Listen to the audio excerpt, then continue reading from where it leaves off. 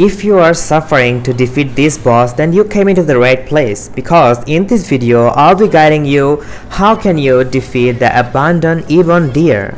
Anyway, this video won't go so long so I'm requesting you to watch this video until the end. So the first thing first, you have to make a proper team to defeat this boss with proper builds. So I have already completed the story part and defeated this boss. Therefore, I'll be going for Simulated Universe World 7 to demonstrate how to defeat him.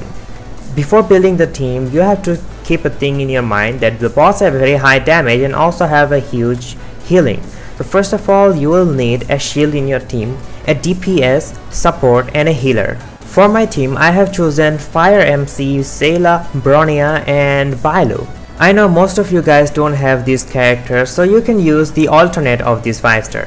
For the alternate of Seele you can use Qingque as the primary DPS. In case of support you can use Asta, Pili or otherwise you can use Tingyun. For healing we are choosing Natasha. So that's what about the team. And if you still don't have these characters also let me know in the comment section and give me the list of the characters you have owned. I'll be making a team for you. Otherwise join my discord server. The link is in the comment section and also in the description. Just click there join the server contact me. I'll be making team for you and also help you how to fight with the Ebon deer now we come to the battle segment which is the most important one. So this boss have three stages and first two stages are kind of very easy and he only deploy two of his plants which are the summons. In second stage the boss will enhance himself and deploy four of his summons. In third stage the boss will have extra buff on himself and also it enhance his summons. So the main thing is you have to destroy the plants or you can say the summons of the boss to make him weak because it gives him extra power and also if the plants are enhanced and got fruits on it, it will heal the boss. Therefore, you have only two turns to destroy the boss's summons. And also make sure to try keeping your DPS buffed, healed and shielded because this is the main thing you will be dealing damage to the boss and even the boss is weakness to the quantum.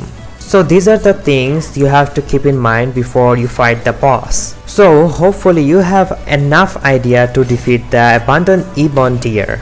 So that's all guys, if you think this video is helpful then make sure to drop a like under the video and subscribe the channel for more content. Share this video to your friend who are having trouble to defeat the Ebon deer and also join discord server for more guide.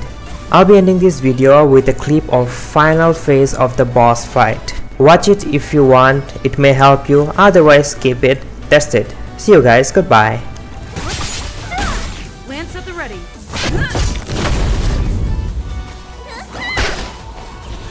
Let me tend your wound. Lend me your strength. We've entered the storm. To guard and defend. Crush them. I'll free you from your chains. Disappear among the sea of butterflies. Illusions of the past.